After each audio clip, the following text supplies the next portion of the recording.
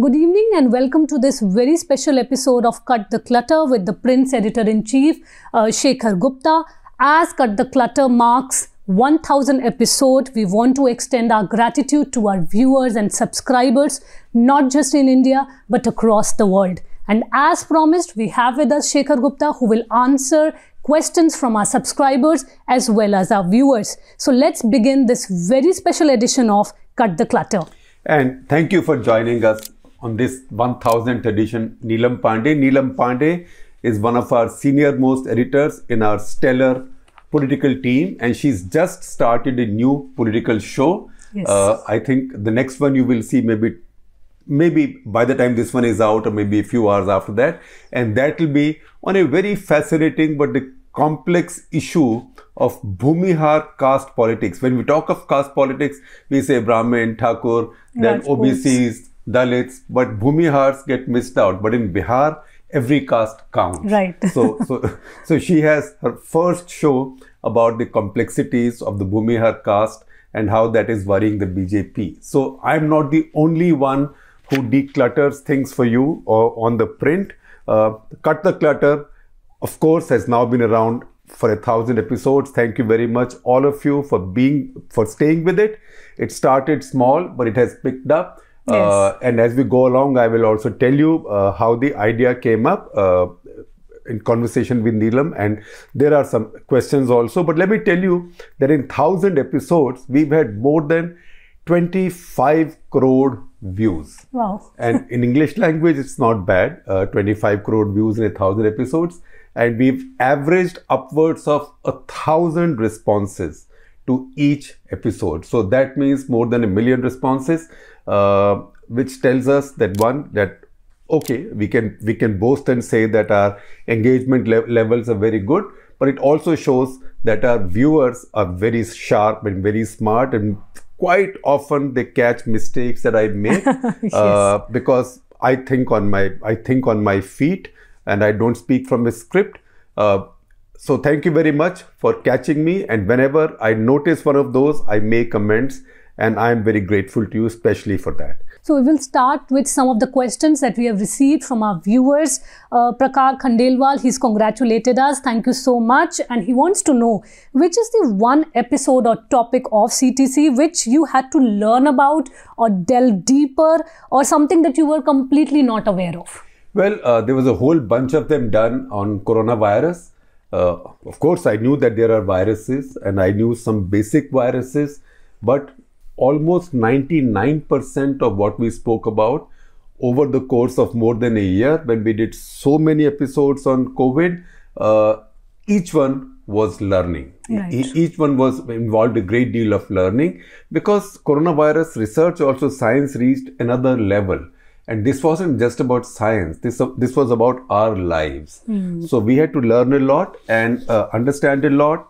It was imperative that we should be as accurate as possible but again you had you were dependent also on what was state of the art what is it that you understood of a situation by then so many of the things that we understood at that point, at any particular point, changed going ahead. So it was also like shooting at a moving target. So that was the most challenging thing. And then there are other things. For example, there are countries that we might know nothing about. Uh, now, Moldavia. Who knew about Moldavia? It's only now when Putin's people said that we want a corridor through southern Ukraine into Transnistria. What is Transnistria? Moldavia, at least naam to suna hai. Transnistria, who knows? So that is completely new learnings or learnings about the war in Ethiopia, which is Right. one of the nastiest wars going on in the world right now, except that it's Africa, so people don't care so much about it. Some of the biggest genocides are taking place there. Or Mali, or the Sahel region, right? So, all that, uh, in fact, I am grateful to viewers of uh, Cut the Clutter because you've all kept on coming. That's given me the impetus to continue doing it five days a week, sometimes even six days a week. In fact, initially it was six days a week because if you had not shown this much interest, you would, you would have saved me a lot of hard work. But uh, I know a lot of you watch, a lot of you wait for it. So I also, every time I want to shirk, I think of I think of you and I can say I can't I can't let down our viewers, our readers. You are wonderful people. And we hope you will continue to watch. Another member wants to yes, know. please, please take a membership. Uh, We respond to our members and we are building a whole bunch of new benefits for our members. Please stay with us for the next few weeks and you will see these these benefits rolling out. And all these details are available on our website. It's a very simple process, so please do subscribe. Uh, one of our members wants to know over the years, has it become easier running an online news outlet and is being an editor of a newspaper more difficult or a digital media house? Well, I can tell you, uh, when, when I was I was editor of a newspaper, I was also the editor of its online presence. Right. And right. the Indian Express group, group has a very strong online presence. But this technology moves very fast. So Hmm. this technology has moved uh, greatly. And uh, what I have realized after setting this up, in the process of setting up the print, is one that the that technology is a big enabler for us. So entry barriers in our business have come down by not not a ratio of one, one is to ten, but even less. So if it if it cost you a thousand crores to set a media organization earlier to build the kind of audiences that we have, today it takes 50 crores to do that. So that's a big change. Also, uh, the real the sheer pleasure of set building a new newsroom. To do that, and newsrooms are built when people find audience quickly. Now, if you if you launch a print newspaper or a TV channel, it will take you forever build audience of the size that we have built right now. We have more than uh, we have uh, 20 million uh, visitors to our website, uh, mostly in English language. We are still expanding our Hindi offering. So that tells you that uh, there are there are benefits here and there are learnings here. And I can tell you that I'm learning something new every day. So you know that old saying, you can't teach an old dog new tricks, uh, right? Old dogs can also learn new tricks. And Anand Kulkarni wants to know what changes can we see at the Print's YouTube channel in the next three years? See, what is modern journalism? All of you are smart people you know दुनिया में क्या हुआ कहाँ हुआ किसने किया right you know that Ukraine and Russia fighting you know the west is on Ukraine side you Chinese mm. are hmm. somewhere there with Russia, etc. All of that you know. Now, if if if if something happens in that war, you will know. So, what is it that journalism does now? So, when we all went to journalism school, or if you read definition of news anywhere, you will be told that it is five W's and one H. Yes. What, where, who, why, when, and H is how. How. So, what, where, who, when. This all of you know now. So, we are left with how And the why. and we add one more why and we add one more what next? So that is what our journalism is all about. And going ahead you will see a lot more of that on our youtube channel. Having said that you will also see us us filling up the platter a little bit more. So you might see a bit more of back of the book more features. You might see some sport which we have been ignoring so far which is a crime uh, in my view.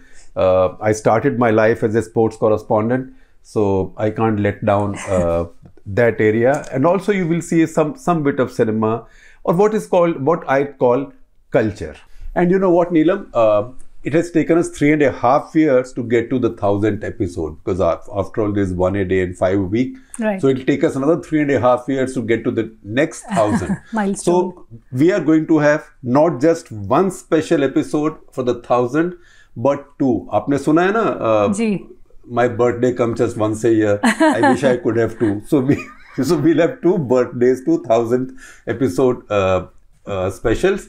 So the second one we'll put out this Sunday, where we talk about some of the highlights out of our episodes done so far, and a little bit about how the idea developed and our journey over this period. Uh, so now we are moving on to some economy related questions. Aditya wants to know on one hand, we are seeing record collection of GST in the month of April. And on the other hand, we are seeing inflation, you know, that's reaching around 7% and forex reserves of countries decreasing. So, what is your thoughts on the current economic situation? Look, economics is complex, uh, like much else. Economics is a science. Uh, I don't have basic education in economics, but I'm learning all, all the time. Now, one thing that you must understand with economics is that two and two does not make four. Uh, because the conclusions that seem obvious to us are not so obvious. For Right. example, if inflation goes up, GST collection will go up because GST is on the price of a product.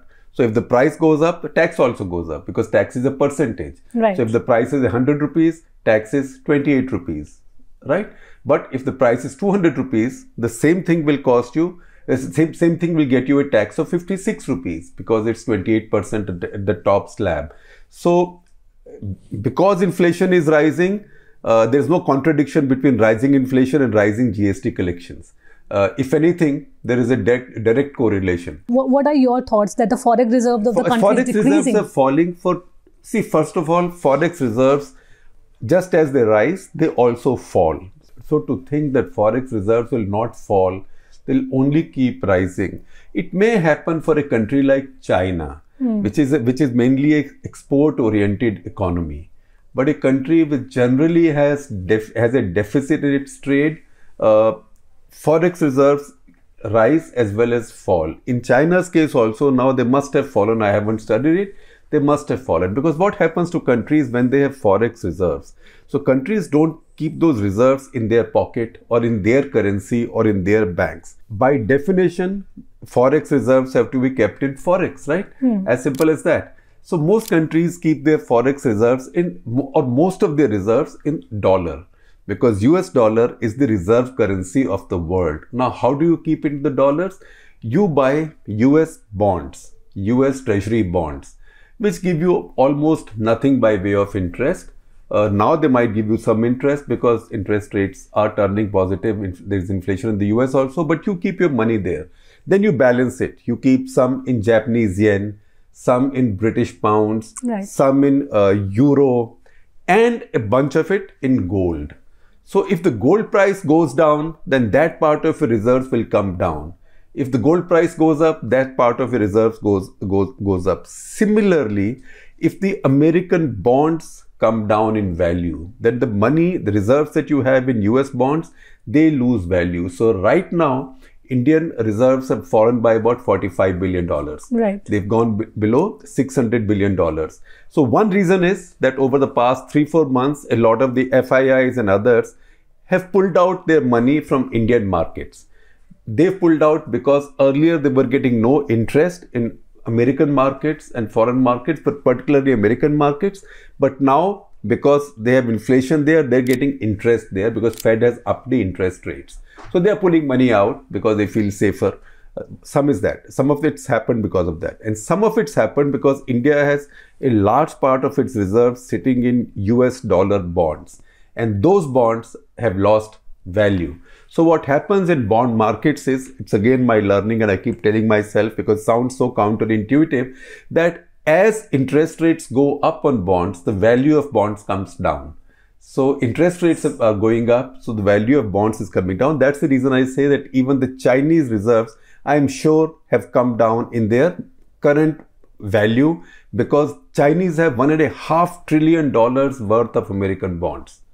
Well, we've received a number of questions. I'll continue with some more from our members. Raghav Khurana wants to know Do you believe we are at the changing world order from USA to China, especially with rising Saudi Riyal using yuan as a better currency? Well, first of all, I do not see uh, riyal or the yuan uh, replacing the dollar because just ask yourself an honest question. Everybody says that, oh, Americans have confiscated or detained Russia's dollars, Russia's exchange, uh, Russia's foreign exchange reserves in dollar. Americans have done it, and though this, this is a warning for the entire world that Americans can do it for you, do it to you. So don't put your money in American dollar put their money in yuan. So if the Americans can do it, the Chinese, who will trust the Chinese? So this whole idea that the yuan will now become a reserve currency of the world, before that, the Chinese have to, Chinese have to before that convince the world that the Chinese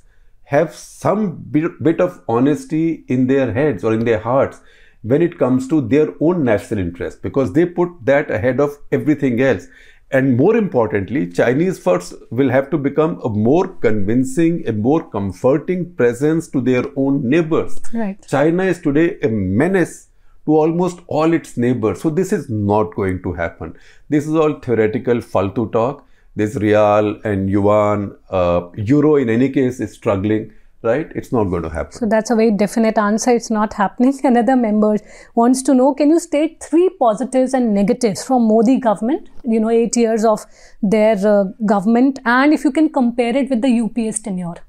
Well, I think that is almost an essay or uh, that's a national interest article. And you've given me an idea. I might do it one of these days. But I think if you look at uh, on the top of my head, uh, the positives, the most important positive is that uh, our economic uh, stability has not only remained but it's become uh, become stronger because there were lots of worries even in my head after demonetization happened that uh, this government was prone to some fanciful ideas. Because demonetization was like a like whatsapp economics. Right. Right? Somebody sends you a whatsapp demonetization kar do black money khatam ho jayega. Nothing happened. So i must say they learned quickly and they came back. The second, on the economic side, again, I would say, is that they again reopened the idea of privatization. Mm. They might not have, might not have been able to do very much as yet, but more will happen. Mm. So the idea that privatization of PSUs is a good idea is a very good thing. The third thing that's happened in the country is that is that the direction that India's foreign policy had taken hmm. say uh, 1991 onwards. Because 1990 the Cold War ended. By 1991 Cold War was completely over. So India started shifting its foreign policy from being from being caught in non fake non-alignment because we we were supposedly non-aligned, but we have we were inclined heavily towards the Soviet bloc. So Soviet bloc was no longer there, but still there was a lot of inertia in the system when it came to moving westwards to shifting. So every prime minister since then has done his bit. This prime minister has done more than other prime ministers. Although lately we've seen it struggle a little bit, government has equivocated a little bit, but that's also necessary because Russia is not a country that India can just dump like that. but I would say that is a positive as well. Uh, so these are these are the positives. You just mentioned foreign policy, and Aman Birthal, another one, you know, our members. He wants to know how India's foreign policy has changed under uh, the current minister S. Jaishankar, especially during Russia-Ukraine war, or is it a short-term highlight that India is getting? Look, uh, under uh, Dr. Jaishankar, uh, India's foreign policy, basically the direction is the same. That's been set, and that's a good thing because good direction was set uh, under, under Narasimha Rao in 91. Then Vajpayee took it forward, uh, and then Manmohan Singh pretty much kept it there because he signed the nuclear deal. Right. So that was that was a big shift. It was a big shift of global significance for India. Uh, but in Jaishankar's times, the articulation of that foreign policy to global audiences, but more importantly to dom- domestic audiences, has become much better and much sharper. So that is the big change. I don't think there is any fundamental shift in foreign policy. Yes, there is some fundamental shift in some through some decisions that are linked to foreign policy. For example, change in the constitutional status of Kashmir. Uh, so that in terms of international implications is I would say about 30% as significant as Vajpayee carrying out the nuclear tests in 1998. Uh, then those uh, invited sanctions, and uh, India then had to get out of the sanctions, which was very skillfully done. But this was done at a time uh, when India India was in a kind of a sweet spot, uh, and that is the big shift which had implications on foreign policy. Uh, so Michael Ivy wants to know, have the chances of some kind of India-Pakistan rapprochement increased or decreased in the wake of Imran Khan's fall and the start of the Sharif administration? Well, whether the chances of India-Pakistan rapprochement have increased or declined, that depends on how you define rapprochement. Right. If you think that once again there'll be a summit meeting and there'll be a settlement of all our problems, that's not going to happen. Uh, I'm still hoping it'll happen in my lifetime, but I've been hoping for a long time. So I don't know when that will happen, if that can happen.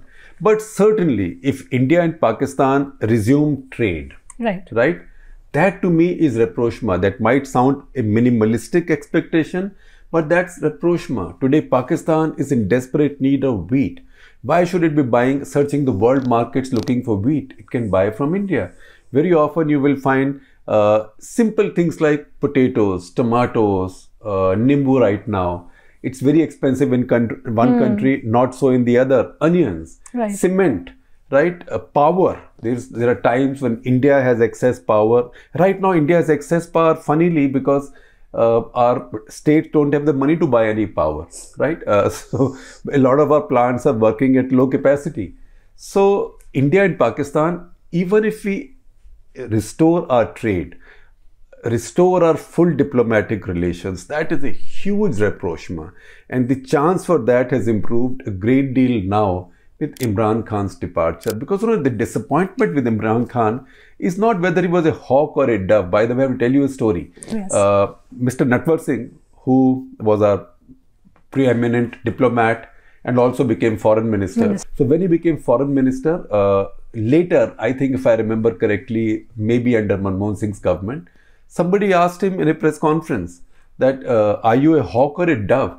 So he said, I am running a foreign ministry. I am not running a bird sanctuary. Right? right? So, so, so Imran Khan was not a hawk or a dove. He was stupid.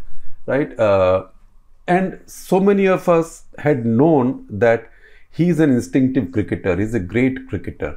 But a great cricketer or a great cricket star or great film star doesn't Right. automatically become a great politician or a great statesman. Because for that, you need one attribute, which is humility. You should be willing to say, Ye mujhe nahi aata. I don't know this.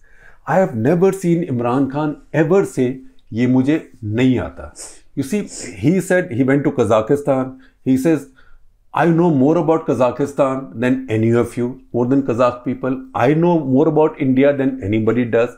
I know more about Britannia than anybody does. Hello, right? And then he made this famous gaffe where he said that Brit- British people liked me so much they wanted to adopt, adopt adopt me as one of their own. But I'm Pakistani. I wasn't going to become a Brit because you know गधे के ऊपर अगर आप लकीरें खींच दें, if you draw lines over a donkey, it doesn't become a, a zebra. आप गधे के ऊपर अगर लाइनें खींचते हैं तो zebra नहीं बनता गधा तो गधा रहता है an ass remains an ass so who talks like that? I mean it's not a statesman. He's not a funny guy. He he is the prime he was the prime minister of a country having nuclear weapons. So india pakistan relations have suffered from many reasons. It's a chronic problem but lately uh, in the past year and a half or so from Imran, Imran Khan's stupidity because he became he became obsessed with the idea that he was the leader of the Islamic world. So he began speaking a language which people were not expecting to hear from him.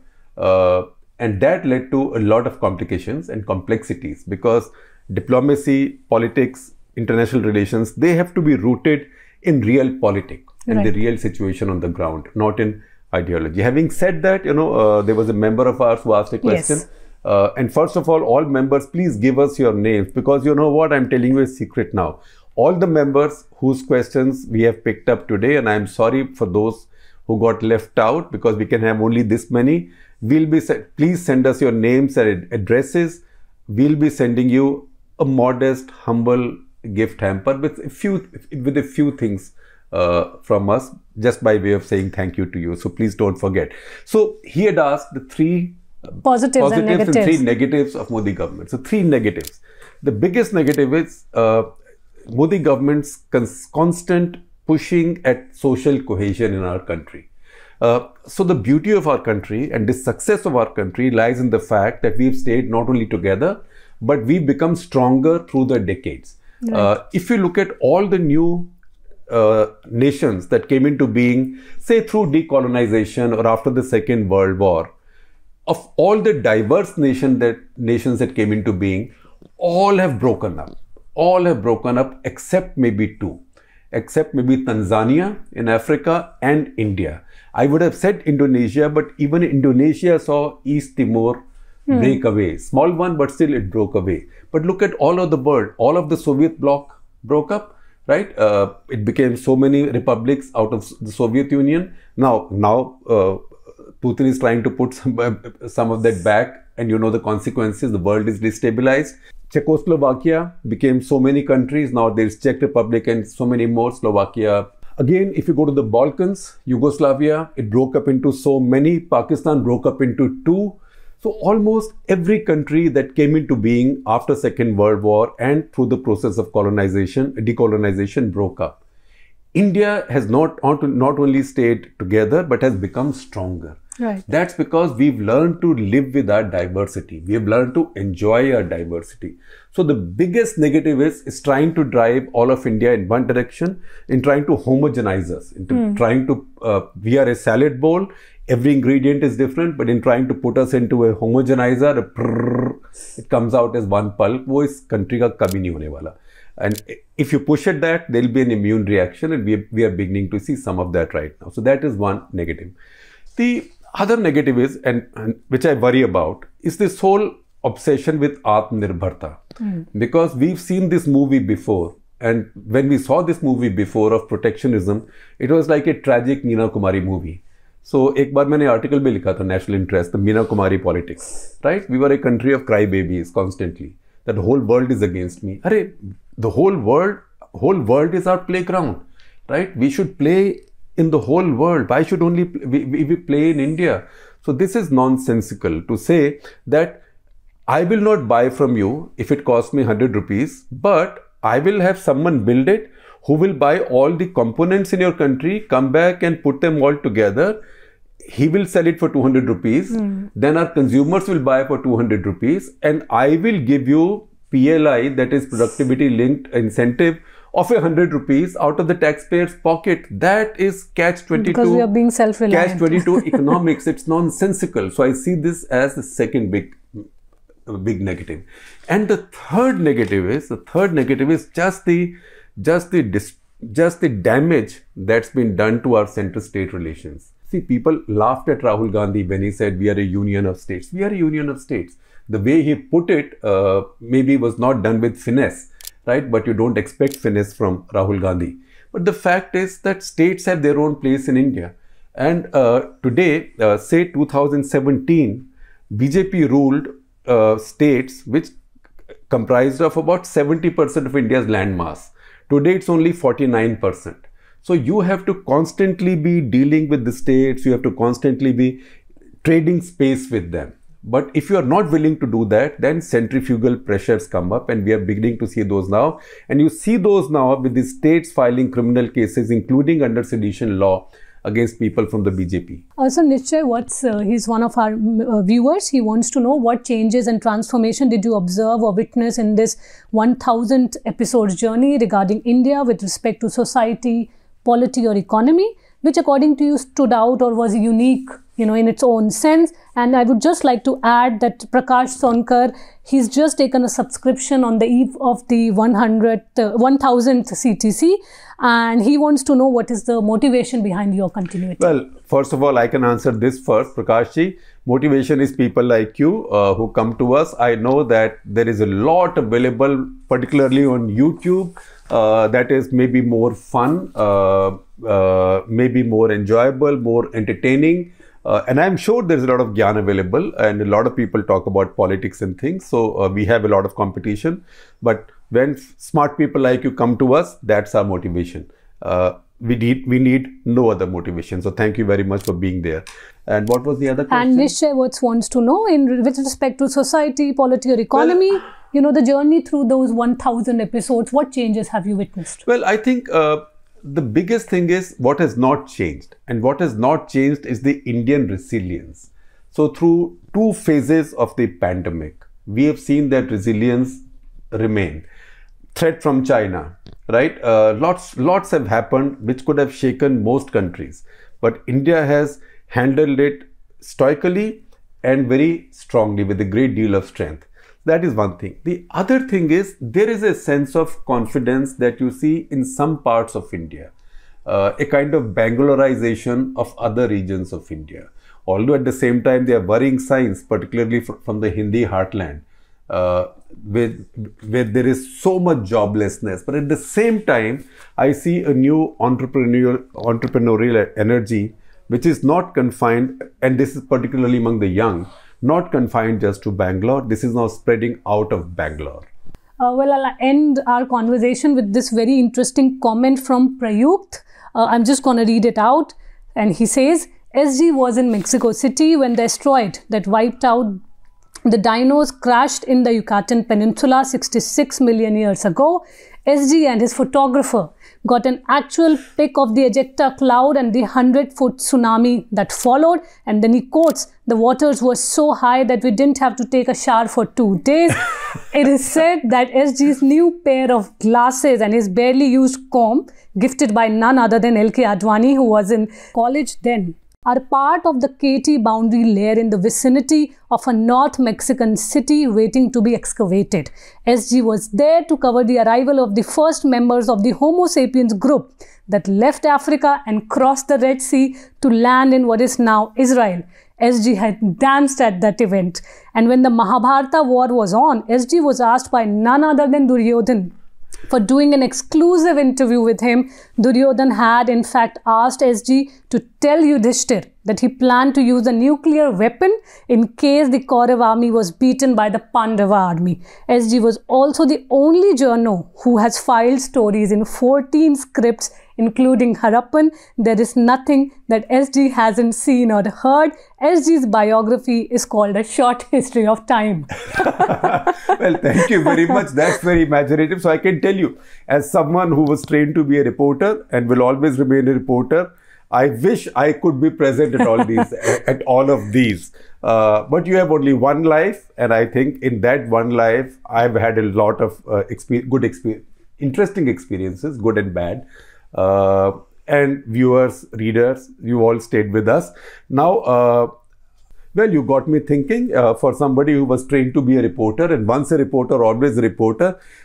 No reporter misses, likes to miss a good story. Every reporter hates missing a good story. So I hate the fact that I've missed all these great stories. And I wish I could be present at all of those. But you know what? You have one lifetime. It doesn't last millions of years for sure. So you do what you can do in one lifetime. And to that extent, I think I've had rich experiences so far. I've had the good fortune of being in lots of interesting newsy situations. These are all not all good situations, right. but interesting newsy situations. And I hope that part of my life continues. But yes, I do wish I was around 65 million years ago in Mexico City.